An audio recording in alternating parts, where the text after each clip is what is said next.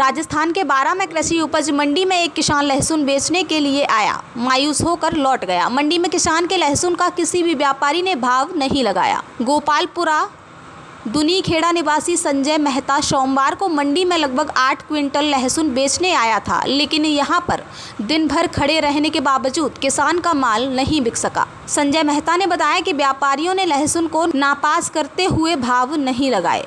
इससे गुस्साए किसान ने मंडी गेट मेलखेड़ी रोड पर लहसुन की ट्रॉली को खाली कर दिया।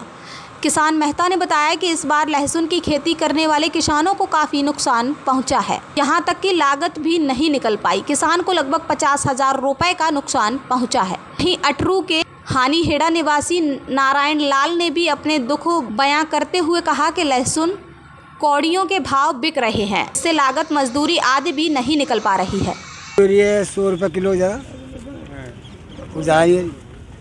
पचास सौ। हालत हो है ये हालत थी आप भी लाए थे मंडी में माल? मैं लेके आया था ना सात कट्टे आपका? हाँ पचास रुपये किलो। पचास कितने कुंटल लाए थे आप? पाँच कुंटल। कितने पैसे आए थे? हाँ पाँच कुंटल में कितने पैसे आएँगे? ढाई सौ रुपये। ढाई सौ मुँह में का मतलब पाँच कुंटल का मतलब है नहीं दस बारह कट्टी होगी है? हाँ। दस बारह कट्टी कटाई कितनी मेहनत कितनी होगी उसकी? मैंने तो क्या मेहनत ये अकाई भी की जुताई भी की सब की। मुझे मौत में पड़ गया मेहनत किराया विराया सब करके तो पूरा मतलब पूरा घाटा ये है? घाटा? मतलब कम से कम पचास हज़ार का घाटा। है।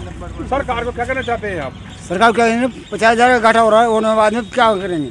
सरकार समर्थन मूल्य पे अगर इसको ले कांटा पे तोले तो उसमें आपने क्या आपने मांग करी क्या आपने कभी? मांग नहीं की। क्या नाम है आपका? हाँ? नारायण लाल। कहाँ का है आप? आंधेड़ा पड़ता है ये